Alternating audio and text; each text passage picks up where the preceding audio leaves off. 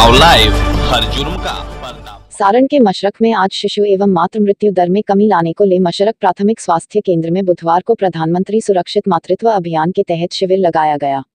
डा. मनोरंजन सिंह ने बताया कि शिविर में लाभार्थी महिलाओं की जाँच एवं उपचार की गई, जिसमें सुविधाएँ शुल्क देकर गर्भवती को गर्भावस्था एवं प्रसव संबंधी समस्त जानकारी प्रदान दी गई।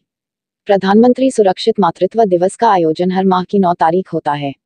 शिविर में महिलाओं को उन्हें एच बीपी, तापमान की जाँच आदि की जाँच सहित जटिलता की जाँच की मातृ एवं शिशु सुरक्षा योजना के अंतर्गत आज 9 तारीख को, हर एक महीना के 9 तारीख को, यहाँ पे गर्भवती महिलाओं का जाँच किया जाता है। आज भी बहुत सैकड़ों संख्या में यहाँ पे गर्भवती महिला आई हुई हैं उनका जाँच किया जा रहा है और प्रॉपर उनको जो सलाह है वो दिया जा रहा है।